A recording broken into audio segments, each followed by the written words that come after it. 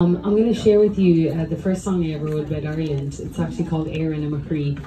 Uh, and this was the one I uh, debuted at the, the Opry uh, a couple of weeks back. It actually translates to Ireland in my heart. Uh, I left it 17 years ago, uh, but I've been in the States for about five years and uh, I love it and it's an honor. So, yeah, we need to just tighten this because this is just going to be dinner. Don't do it all home here. I'll leave you for dropping.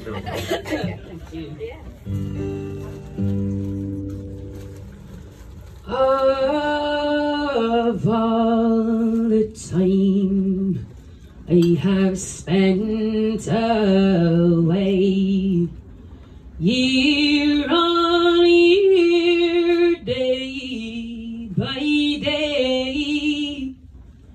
I'll take with me fine memories.